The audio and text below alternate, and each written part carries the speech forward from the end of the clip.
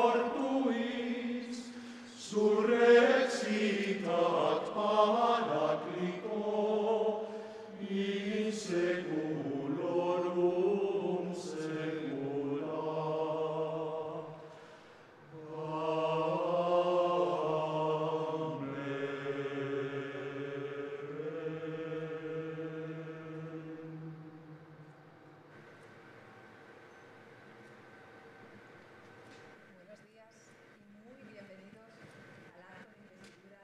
don Antonio Guterres como doctor honoris causa de la Universidad Europea.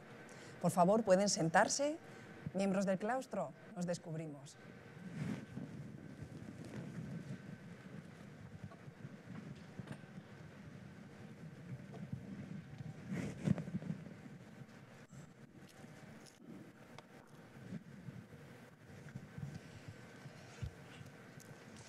Tiene la palabra la secretaria general de la Universidad Europea.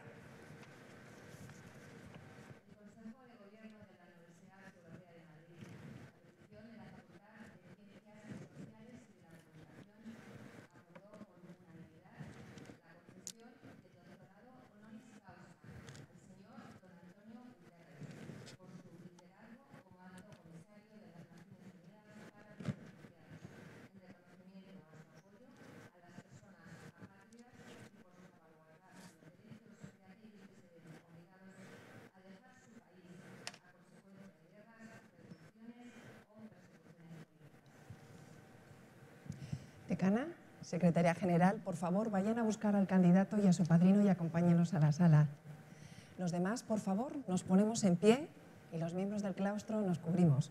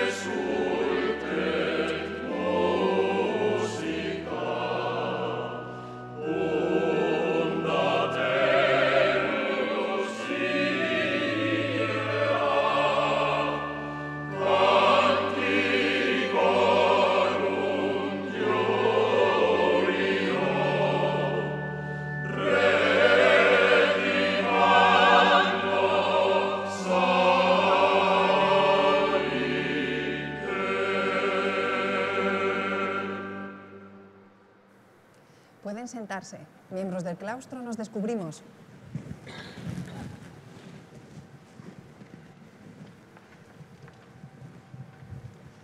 Y ahora tiene la palabra Miguel Carmelo, presidente de la Universidad Europea y CEO de Laureate International Universities Europa.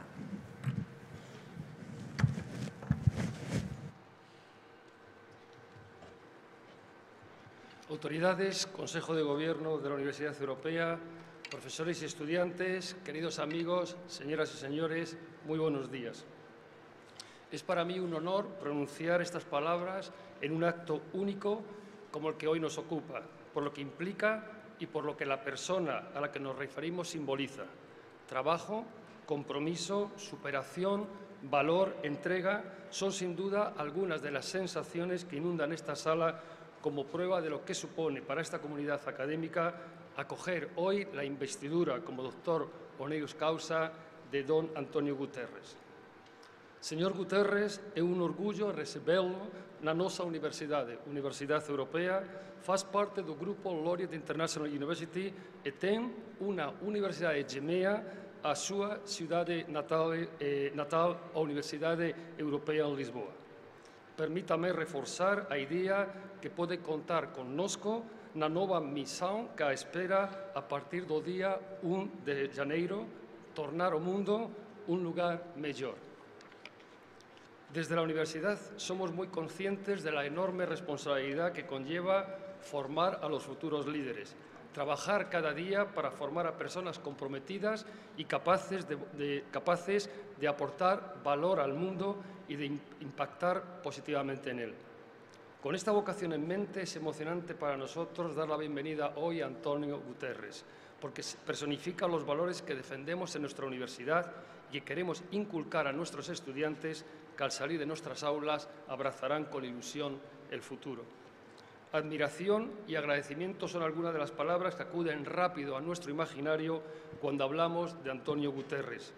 Admiración por una trayectoria brillante y agradecimiento por ser un líder inspirador y comprometido en quien las nuevas generaciones encuentran un referente. Porque somos conscientes de que vivimos tiempos convulsos donde la realidad está marcada por la incertidumbre. Más que nunca necesitamos líderes como Guterres, con su firmeza, su compromiso, su capacidad de decisión y su vinculación con los principios humanitarios. Para nosotros, como institución, su trayectoria y, sobre todo, el impacto que su trabajo tiene en la sociedad que compartimos son un ejemplo. En la Universidad Europea trabajamos para ofrecer a nuestros estudiantes una formación abierta al mundo, con una visión internacional en la que figuras como el nuevo secretario general de las Naciones Unidas tienen un papel esencial un carácter internacional que nos diferencia. Somos una institución miembro de la Red Internacional de Universidades, Laureate International Universities, que cuenta con más de 70 instituciones de educación superior, donde se forman más de un millón de estudiantes en 25 países a lo largo de los cinco continentes, muchos de cuyos embajadores en España están hoy aquí y a los que agradecemos especialmente su presencia. Una visión internacional que va impresa en nuestro ADN y nos vincula más si cabe a un líder, como Antonio Guterres. Aglutina voluntades procedentes de todo el mundo y afronta los desafíos de una realidad en la que hay mucho por hacer. A lo largo de su trayectoria, Antonio Guterres se ha ganado el respeto y la admiración colectiva. Han sido numerosas las ocasiones durante su gestión como alto comisionado de las Naciones Unidas para los Refugiados en las que ha alzado la voz sobre el problema del desplazamiento forzoso de seres humanos en un mundo envuelto en guerras constantes que, lamentablemente, parecen no tener fin. Ha provocado a una sociedad a menudo acostumbrada a mirar para, otro lado, a repensar la respuesta humanitaria ante una situación sin precedentes que ha desbordado la capacidad de los mecanismos internacionales de ayuda humanitaria y de atención a los refugiados. Ha alzado la voz para llamar la atención entre las personas solicitantes de asilo, desplazamientos internos y otros migrantes en situación irregular que buscan escapar de la destrucción, de la violencia, de la persecución, de las violaciones de los derechos humanos y de la intolerancia. Y ha mirado al mundo de frente para exigir sin tibieza mayores compromisos por parte de los líderes mundiales. El nuevo secretario general de las Naciones Unidas es un, un político que siempre ha estado a la altura de las circunstancias y que posee todos los atributos para conducir a la institución que liderará desde enero por el camino correcto, el de la justicia social y con la mirada centrada en aquellos que sufren. Su elección al frente de esta institución supone la culminación de una carrera política de nada menos que cinco décadas, en las que sus profundos compromisos humanistas han estado vinculados a su biografía desde sus inicios como diputado socialista, durante su primer eh, tiempo como primer ministro de Portugal y como dirigente de la Agencia de Naciones Unidas para los Refugiados. Estamos ante un hombre que ha tenido que gestionar situaciones tales como las miles de personas desplazadas por la guerra de Irak o Afganistán, las sucesivas oleadas de víctimas de la violencia en África, los millones de personas que huyen de Siria y otros países que cayeron en el caos más absoluto. Sus primeras palabras tras ser designado secretario general de Naciones Unidas fueron de un agradecimiento expresado con humildad y gratitud. Y cito textualmente, humildad ante los grandes desafíos que afronta el mundo y humildad para poder servir a los más vulnerables. Damos la bienvenida a esta universidad a un hombre que personifica la esperanza, un líder de acción que no promete utopías, pero que trabaja firmemente por un mundo mejor. Los jóvenes que hoy están formándose con nosotros pueden tomar nota de la firmeza, la integridad y la voluntad de servicio de un hombre que lucha, vive y se entrega por esa fascinante y extraordinaria aventura que es hacer de este mundo un lugar mejor. Muchas gracias y enhorabuena, señor Guterres.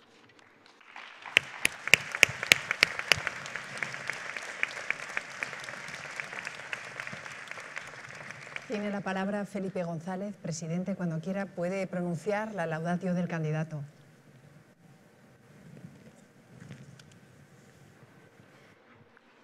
Muchas gracias. Buenos días al Consejo de Gobierno de la Universidad Europea. Buenos días a todos los representantes del claustro, a los estudiantes, a los trabajadores de la universidad. Buenos días a los invitados diplomáticos que nos acompañan bienvenido Antonio. Entre la solemnidad de este acto y la cordialidad que me inspira, eh, me va a vencer la cordialidad, porque hace 25 años que conozco a Antonio Guterres. Quiero aclarar que es la primera vez que hago una laudacio en un doctorado honoris causa, nadie lo imaginaría, pero sobre todo me gustaría aclararles que cuando se decidió proponerlo como doctor honoris causa y yo decidí aceptar la presentación o laudación, no había sobrevenido la causa que hoy domina el ambiente, es el nombramiento como secretario general de Naciones Unidas. Por tanto, los méritos que fundamentalmente se atribuyen a Antonio Guterres para concederle este doctorado honoris causa están relacionados con diez intensísimos años de su vida como alto comisionado para los refugiados.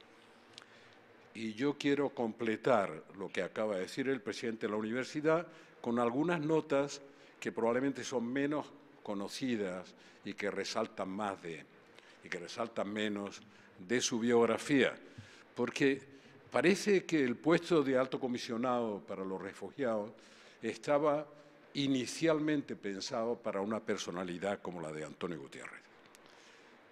Ya cuando era muy joven, su compromiso político era un compromiso de solidaridad con la gente que menos tenía, en las barriadas de Lisboa.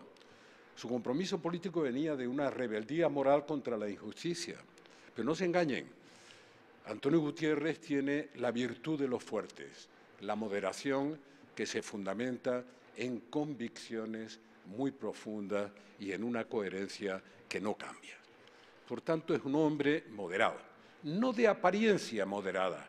Él es moderado porque sus convicciones son firmes, inamovibles, y su trayectoria vital siempre ha sido una lucha por defender y favorecer a los que menos tienen y a los más, o a los más frágiles. Por tanto, es mucho más Antonio Gutiérrez como alto comisionado de Naciones Unidas para los refugiados que como líder del Partido Socialista portugués o incluso como primer ministro. Pero llegó a ser primer ministro cuando yo empezaba a dejar de serlo, en noviembre del 95, aunque yo ya llevaba demasiado tiempo. Nos conocíamos de antes y yo conocía esa personalidad, la personalidad que de verdad ha decidido su destino. Lo ha decidido, lo decide y lo decidirá en el futuro. El reconocimiento que hay detrás de esta decisión es un reconocimiento absolutamente justo, adecuado para la personalidad de Antonio Guterres. Verán, esta es la Universidad Europea. Europa no pasa por sus mejores momentos. Hace un momento antes de entrar me recordaban el Tratado de Maastricht les contaré un pequeño secreto dentro de esta que necesariamente tiene que ser breve intervención. Antonio Guterres era primer ministro cuando se decidió la Unión Monetaria. Y bajo su presidencia, como primer ministro, bajo su presidencia de turno de la Unión Europea, se acordó la Agenda de Lisboa. Verán, es un pequeño detalle para los estudiosos, pero también para los que están preocupados por la crisis por la que pasa Europa. Porque había un problema estructural no resuelto en aquella unión monetaria, que era la pata faltante de la unión económica, es decir, la necesidad de la convergencia económico-fiscal entre los distintos países de la Unión para acompañar de manera coherente una unión monetaria que no solo podía ser monetaria.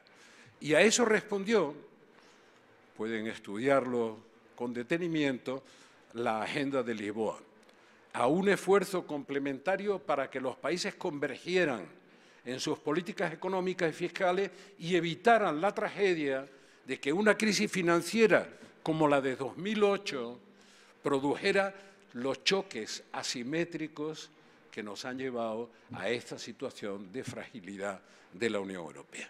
En la agenda de Lisboa estaba. Desgraciadamente para la Unión Monetaria había pacto de estabilidad y constricciones que era obligatorio cumplir. Para la agenda de Lisboa había un esfuerzo voluntario de aproximación y de convergencia que se medía año tras año, pero que como suele ocurrir en los compromisos internacionales, todo lo que es voluntario no se cumple o se dice que se cumple cumpliendo dos de los 28 parámetros que definen la convergencia. Esa es también una dimensión de la personalidad de Antonio Guterres, que no consta dentro de la motivación básica que nos lleva a esa tribuna y a este doctorado. La motivación básica es el trabajo como alto comisionado, el de la ACNUR. ¿Qué es lo que ha advertido? ¿Por qué ha luchado Antonio Gutiérrez? Miren, se lo diré en una cifra simple. Imagínense que tuviéramos que acoger a un millón de refugiados en Europa. No hablo del mundo porque no creo que Trump esté muy dispuesto a acoger refugiados en Estados Unidos. Hablo de Europa. 500 millones de europeos. Hagan la proporción porque él la ha hecho. ¿Qué significa un millón de refugiados? ¿Qué significan dos millones de refugiados? Para 500 millones. ¿Cómo se subsume en esta sociedad que a pesar del sufrimiento que ha generado una muy mala gestión de la crisis financiera de 2008, es la sociedad con mayor grado de bienestar y de cohesión del mundo? ¿Qué supone? ¿Qué impacto puede suponer? Créanme, como él ha dicho en alguna ocasión, el único impacto es el miedo al otro. El miedo al otro. Eso que parece que está triunfando o que ha triunfado en las, elecciones americanas. Europa, les diré una cosa, desde el punto de vista egoísta, necesita a esos que piden refugio y asilo los necesita. Y la mayor contradicción que él ha vivido, más que nadie, porque ha ido desde los campos de refugiados a las capitales, a los actores internacionales preocupados por esta lucha, ha advertido, ha anunciado, ha luchado permanentemente. La mayor contradicción es que los países con menos nivel de riqueza son mucho más flexibles para acoger a la gente que sufren desplazamientos que no se conocían desde la Segunda Guerra Mundial. Imagínense, hay más desplazados por razones bélicas, de persecución religiosa, de persecución por opciones de todo tipo, hay más desplazados hoy que los que produjo la Segunda Guerra Mundial. Esa tarea ha sido la dedicación de 10 años de Antonio Gutiérrez. Él me va a perdonar que le diga, y le pegaba más a su condición y a su carácter que la de primer ministro. Por eso he destacado que como primer ministro tomó una decisión, entre otras, presidiendo el Consejo Europeo, de intentar evitar los choques asimétricos que se producirían por una unión monetaria sin unión económica y fiscal. Por tanto, cumplía su misión, pero la cumplió de una manera tan extraña que cuando perdió en 2002 las elecciones municipales, asumió la responsabilidad de las elecciones municipales y dejó de ser primer ministro. De 2002 a 2005 encajó en la figura que parecía hecha para él. ¿Quién puede defender a los refugiados en un momento de crisis como la que vivimos y vamos a seguir viviendo? No quiero alargarme porque el tiempo que me dieron fue limitado. Les diré solo una cosa. Mi sorpresa gratísima, pensando que va a ser el próximo secretario general de Naciones Unidas, se contradice con la compasión que me da que sea en este momento. Le diré una cosa que Antonio Gutiérrez sabe. Si no existieran Naciones Unidas tan criticada, tan asaeteada, porque el mundo ha cambiado y Naciones Unidas no se ha adaptado suficientemente, ni su Consejo de Seguridad, habría que inventarla. Pero hoy no tendríamos los mimbres para hacer el cesto de unas Naciones Unidas que nos ayude a ordenar la comunidad internacional. Vivimos una época complicada, lo cual no me hace verla con pesimismo. Y la complicación es que el respeto a la norma ha desaparecido, pero está desapareciendo en todas nuestras sociedades. Incluso en las sociedades democráticas da la impresión de que la democracia es contabilidad de votos y no respeto a la norma. Y lo uno y lo otro no funcionan por separado, como bien saben los juristas. No hay respeto a la norma. Y Naciones Unidas tiene desafíos muy importantes y algunas rigideces. Solo les contaré una, porque le tocará gestionarla. Y le tocará gestionarla desde el 1 de enero. Naciones Unidas tiene que actuar con unos procedimientos reglados, incluso a veces con convenciones que, digamos, se imponen como las más convenientes para enfrentar los conflictos. Veamos el tema que a todos nos agobia de Siria como conflicto. En Siria debe haber más de 6 millones de desplazados interiores y exteriores.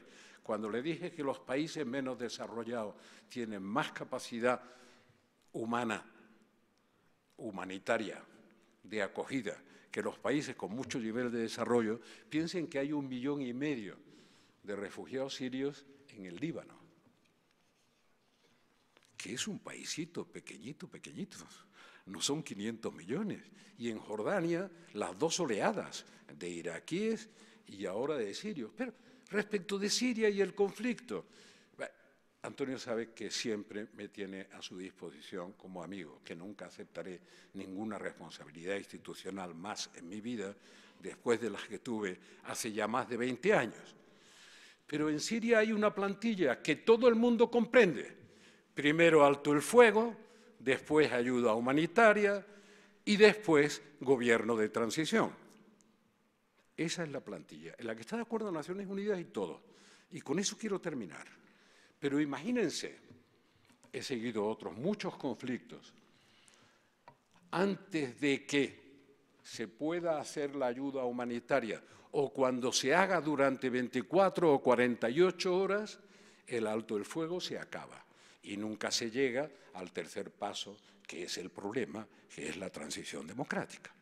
Por tanto, el orden de los factores ahí altera radicalmente el producto. Y de alguna manera hay que innovar.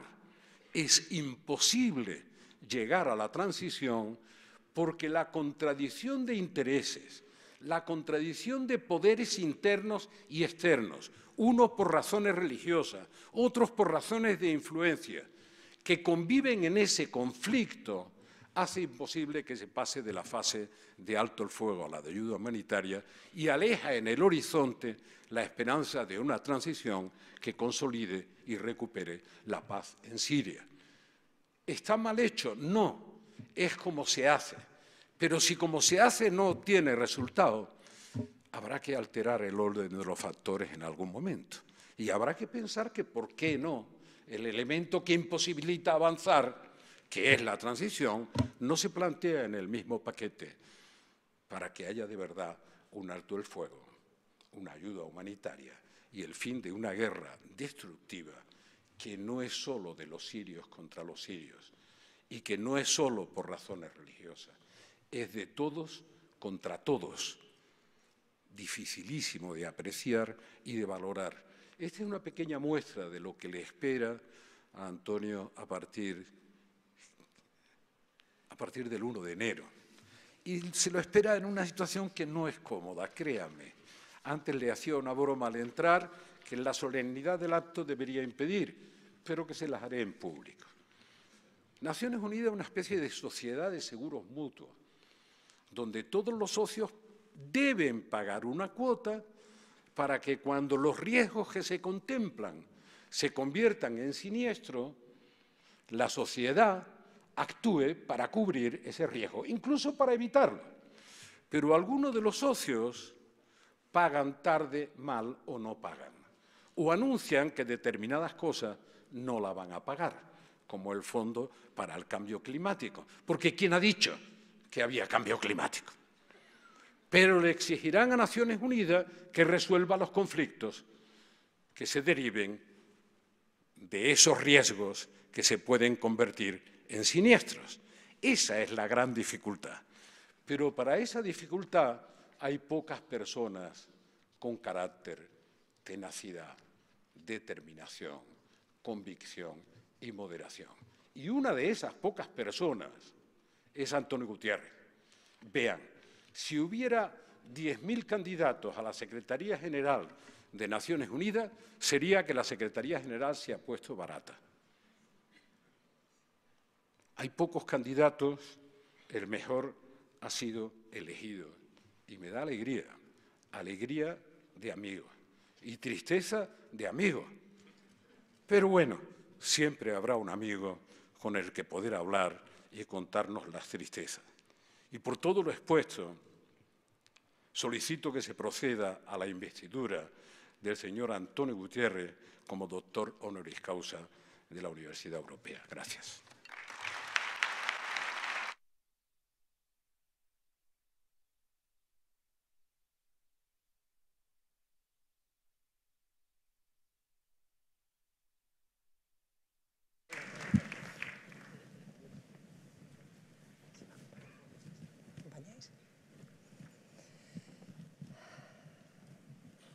Y ahora nos ponemos en pie, por favor.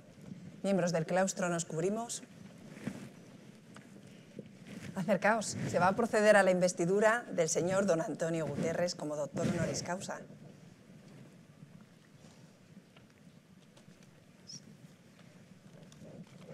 Por la autoridad que me ha sido conferida, os hago entrega del título para que podáis mostrarlo donde fuera necesario.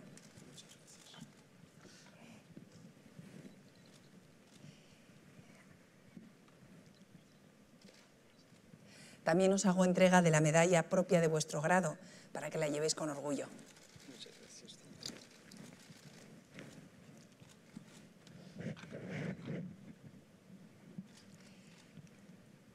Y aquí tenéis el anillo, anillo que han recibido también nuestros mayores en una ceremonia solemne como esta, para que podáis sellar vuestros dictámenes, consultas y censuras, propias de vuestro magisterio y profesión.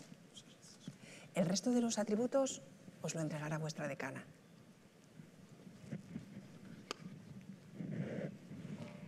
Recibid el libro de la ciencia, que os cumple cultivar y difundir. Y recordad que por muy grande que fuere vuestro ingenio, deberéis rendir reverencia y culto a quienes fueron vuestros maestros. Muchas gracias, no lo olvidaréis.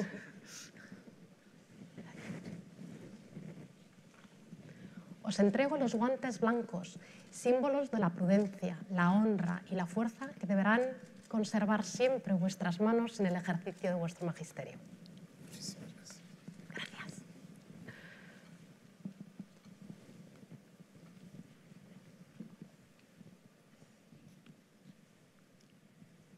Y ya por último, os hago entrega del birrete laureado, símbolo del alto magisterio. Llevadlo siempre con orgullo como tributo a vuestro saber y a vuestros altos logros.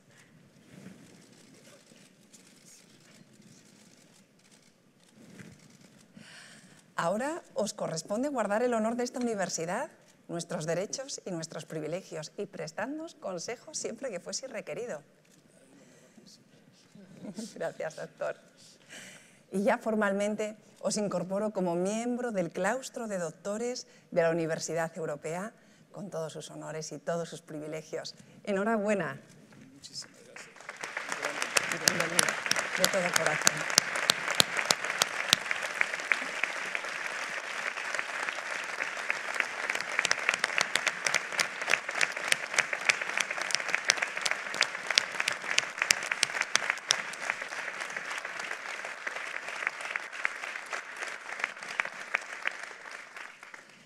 Como señal de la paz y cordialidad con la que ejerceréis vuestro magisterio, estoy segura, os invito a que abracéis a vuestro padrino y a vuestra decana en nombre de todos los doctores de la universidad.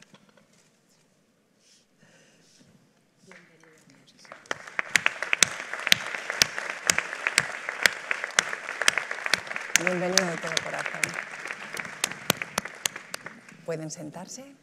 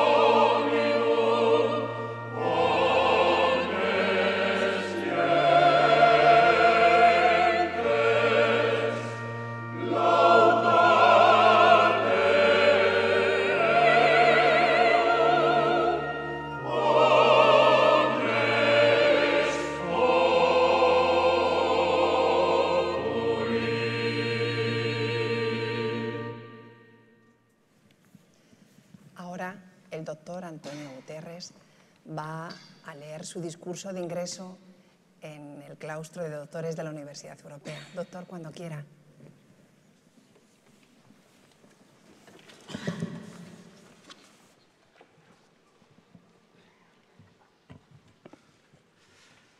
Magnífica rectora de la Universidad Europea, señores presidentes de la Universidad y de laureates, eh, queridísimo amigo Felipe González, señoras y señores profesores, queridas y queridos estudiantes.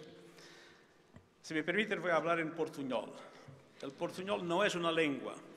Una lengua necesita tres atributos, población, territorio y gramática.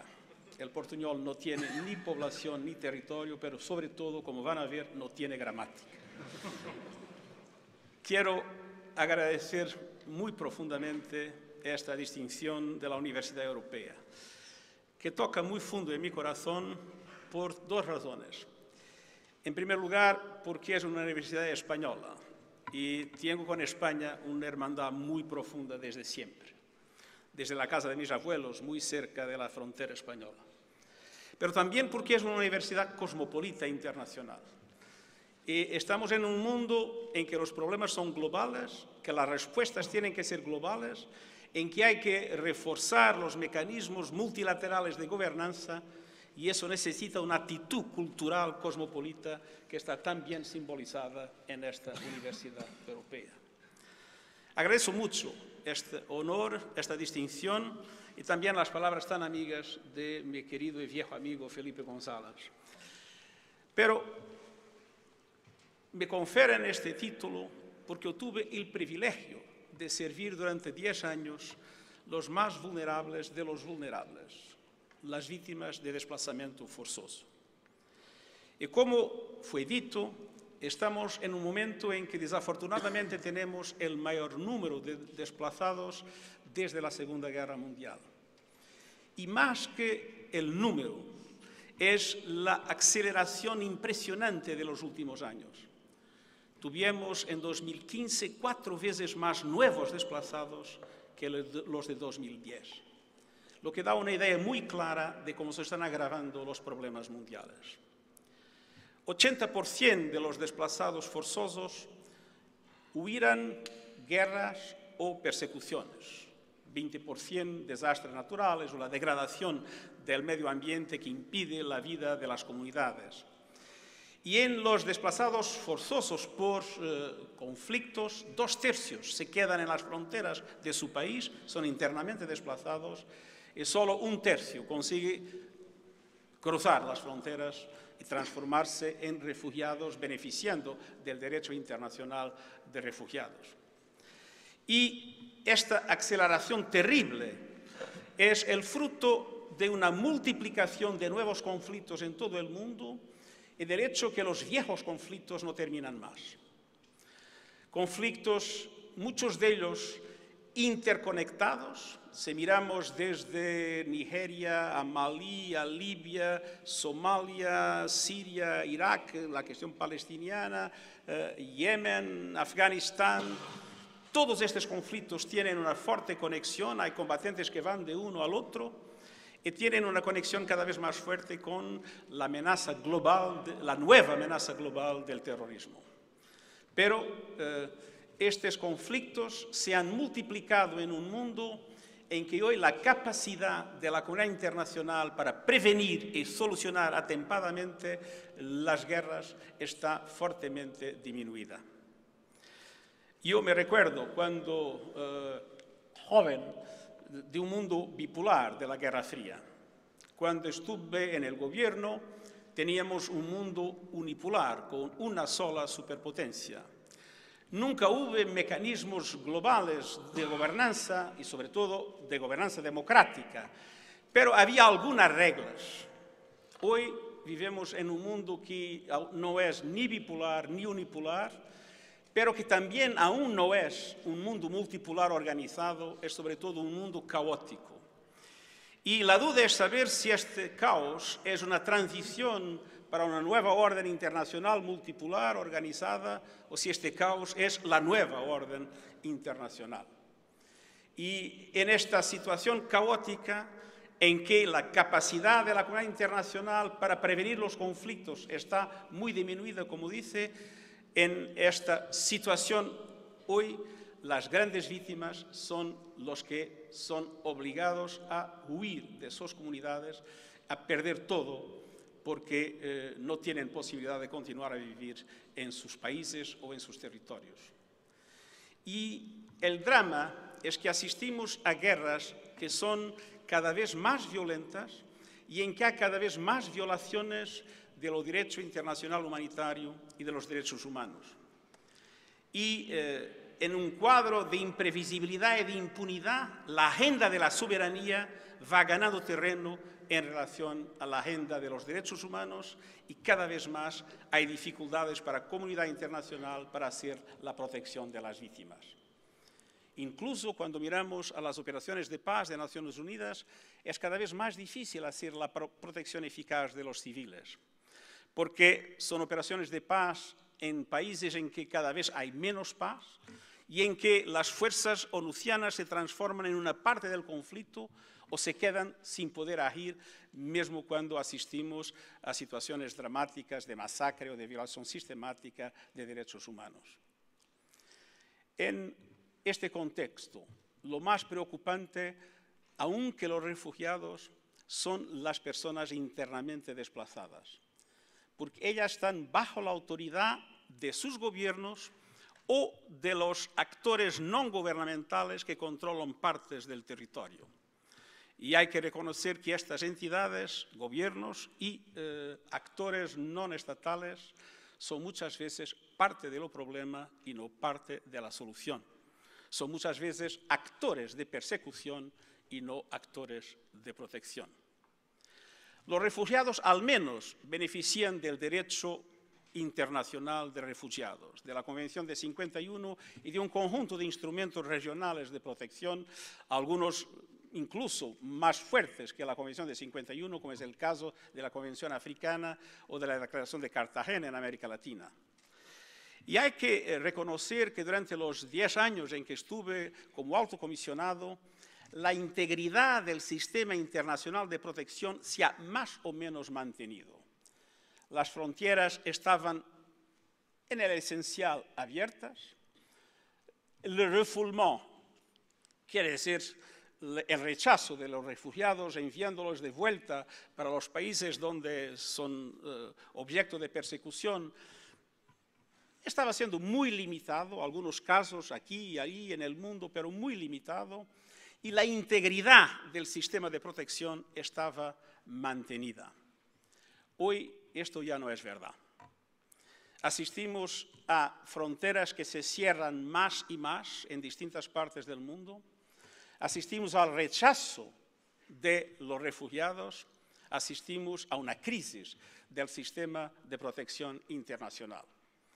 Y hay que reconocer que como el malo ejemplo empezó en Europa, empezó en la parte rica del mundo, hoy se está propagando un poco por todas partes, porque, eh, como fue señalado por Felipe González, 80% de los refugiados en el mundo están en países en desarrollo y una gran parte en los países de más bajo nivel de desarrollo, que siempre han demostrado una enorme generosidad. Pero que hoy se preguntan por qué vamos nosotros a mantener a los refugiados en nuestros territorios si países mucho más ricos que los nuestros los están rechazando en sus fronteras. Y esto es un reto muy difícil en el momento actual. Es verdad, como fue dicho, que cerca de un millón de eh, solicitantes de asilo han llegado a las costas europeas en el año 2015 2% de la población de la Unión Europea. En Líbano, como fue también eh, aquí afirmado, hay un tercio de la población hoy que es refugiada. Y es muy difícil explicar a los libaneses que tienen que mantener a los sirios en Líbano cuando en Europa 2% de eh, la población tiene tantas dificultades para ser recibida. Y es verdad que una comunidad internacional con más capacidad de prevención de conflictos, una comunidad internacional con más capacidad de solidaridad en la ayuda humanitaria a los refugiados en sus países de primera acogida o de solidaridad con esos países eh, en los dominios del, del, desarrollo y de la solución estructural, del impacto que los refugiados tienen sobre los sistemas de educación, de salud. Eh, es verdad que una comunidad internacional más activa y solidaria podría reducir el volumen de estos movimientos secundarios. Desafortunadamente, si miramos a lo que pasó con los refugiados sirios, el nivel de la ayuda internacional a los refugiados y a los países eh, que están alrededor de Siria Líbano, Jordania, Turquía, Irak, ha sido mucho menor que las necesidades. 90% de los sirios en Líbano y Jordania viven por debajo del nivel de pobreza y solo la mitad de los niños y de las niñas va a la escuela.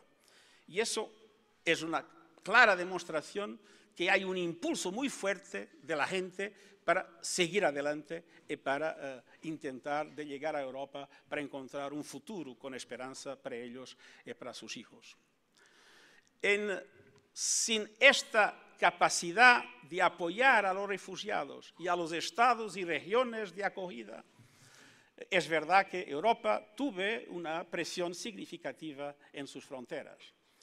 Pero este número sería perfectamente manejable si los europeos tuvieran la capacidad de encontrar una respuesta solidaria europea, con una capacidad de acogida, de recepción adecuada, con mecanismos de registro, de screening, incluso de screening de seguridad en los puntos de entrada y con una distribución equitativa de los refugiados por todos los países de la Unión Europea.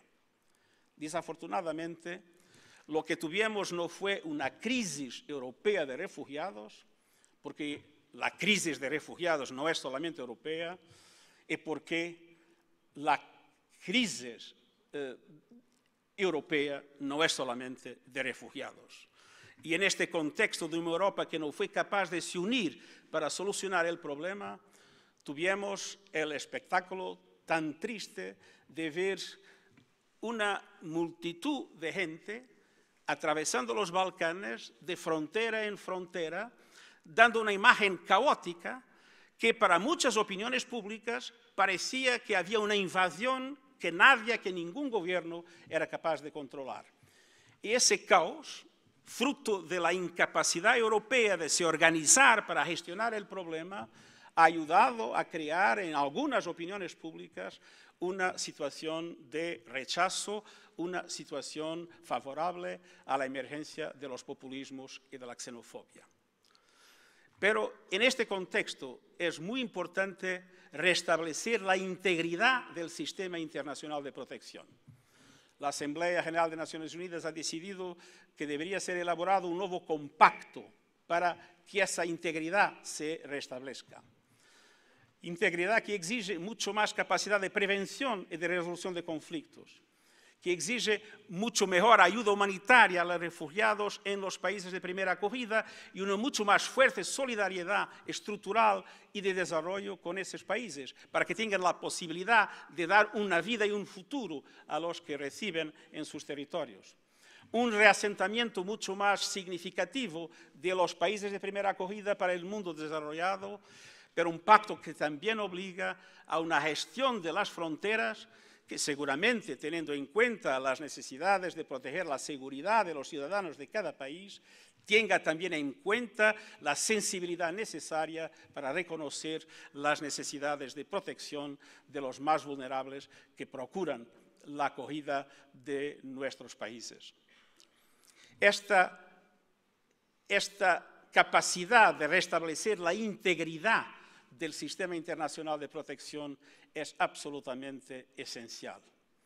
Pero hay que reconocer que no será fácil. En primer lugar, tenemos una globalización que es asimétrica.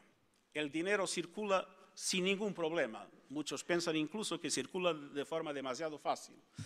Los productos y servicios circulan más o menos bien en el mundo, pero la circulación de la gente encuentra cada vez más obstáculos.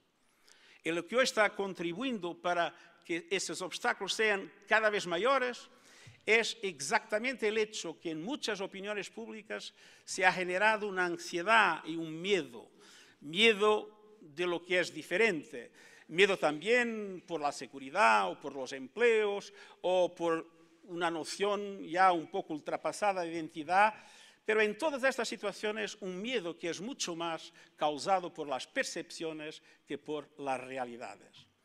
Y es ese miedo que es necesario vencer, porque todas las sociedades son y serán multiétnicas, multiculturales y multireligiosas. Y eso es una riqueza, no es una amenaza.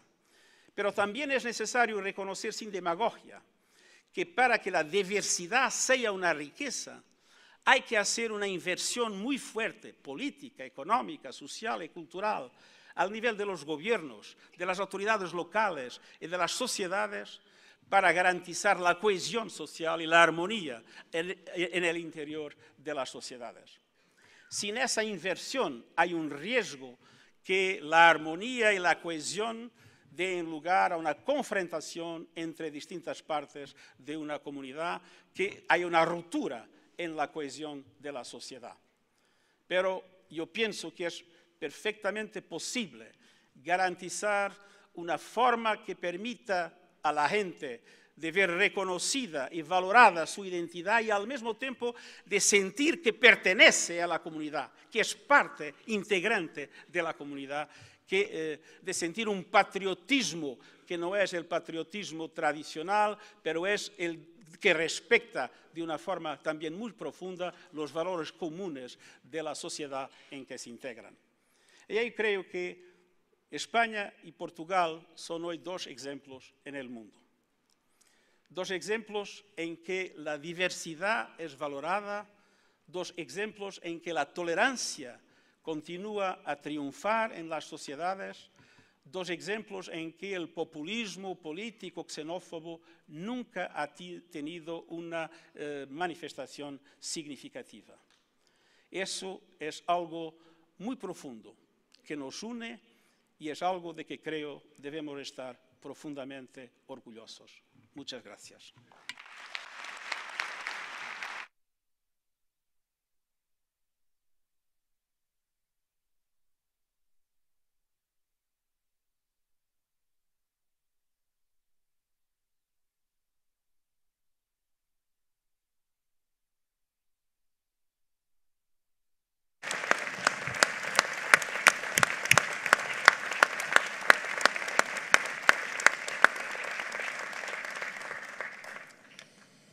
Y ahora pongámonos de pie para cantar y escuchar el himno universitario. Los miembros del claustro nos cubrimos y saben que tienen para nuestros invitados menos habituales el himno universitario también en su programa de mano. Les invitamos a que se unan.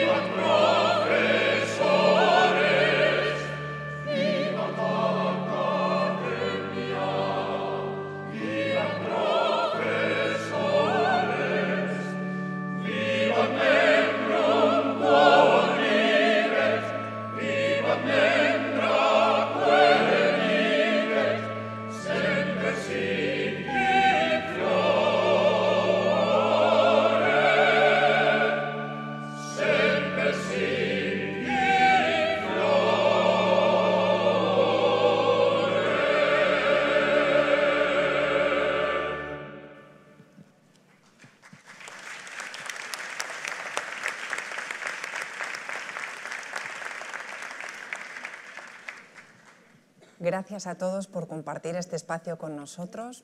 Que tengan un buen día y se levanta la sesión.